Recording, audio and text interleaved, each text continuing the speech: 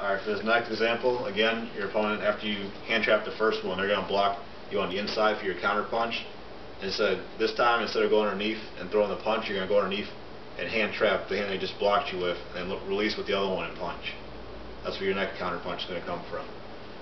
So I'll show you. Now we're going to go slow and speed it up again. So he comes in. As he does that, I come in underneath, grab his hand, then punch in. He'll speed up a little bit. He comes in, underneath, and there's medium speed. Alright, and regular speed is going to look like this. Alright, thanks George. So you saw this time what happened was, as they're throwing their punches, you blocked, instead of coming underneath with that punch like I said, you came underneath and hand trap, release with the other hand, and just followed in with a punch.